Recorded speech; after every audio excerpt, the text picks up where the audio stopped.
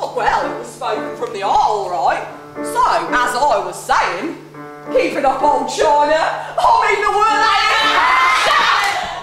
Save that kind of filth for Kitty. She's a kind of slut and appreciates it. Mac, don't be so vulgar. Yeah, I don't like that, you calling Kitty a slut. Oh, so you don't like that? And besides, I never use filthy language with her. I respect Kitty too much. But maybe you wouldn't understand that the way you are. You, you're a fine one to talk about filth. Do you think Lucy didn't tell me the things that you told her? Compared to that, oh, I'm driven snow. It's a wedding.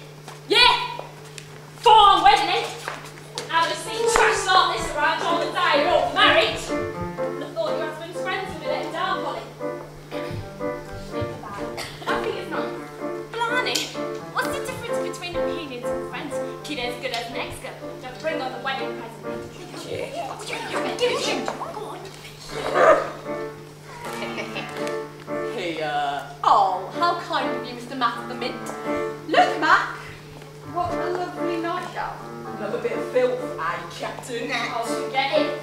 I didn't mean to hurt your feelings on this festive occasion.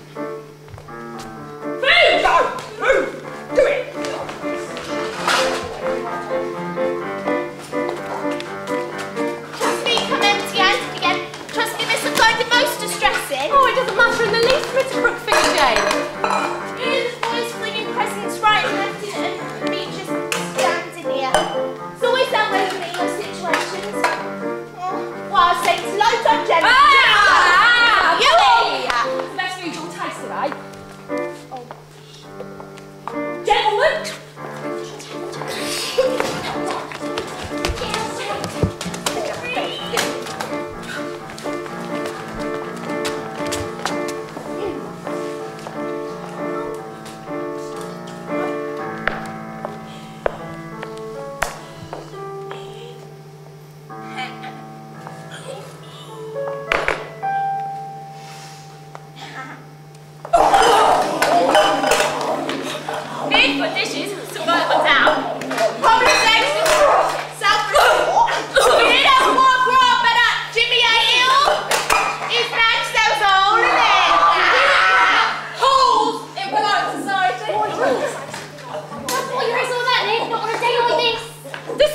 marvellous.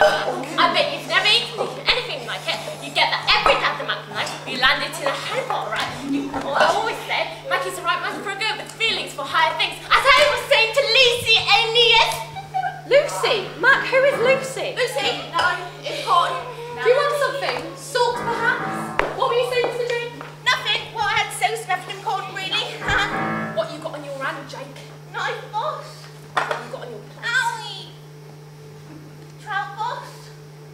that knife, you're eating a trout, are you not?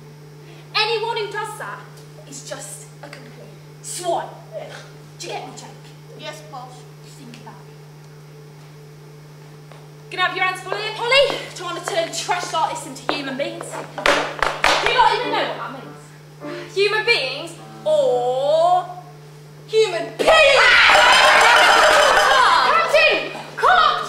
Tiger Brown! Nonsense! It's the Kimball! Good evening, Reverend Kimball! So I found you after all. I find you in a lonely hut, a humble place but your own. Property of the Duke of Devonshire. Good evening, Reverend. I'm so glad on the happiest day Captain!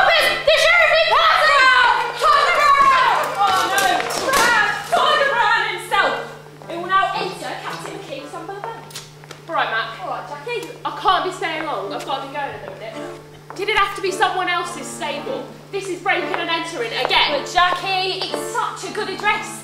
It. I like to meet my wife. Nellie Peachum. This is Tiger Brown. And these are my uh, friends. But I suppose you met them all before, right? I'm here unofficially, Mac. So like, so like. Alright, Jake. That's Crookfinger Jake. He's a dirty dog. Jimmy. Right. Walter. Ned. Matthew. Captain! I suppose for today, I can turn a blind eye. Yes! Oh, be seated, gentlemen, be seated. And of course, I'm delighted to meet Matt's charming wife. Don't mention it, sir. What'd you say, old bugger?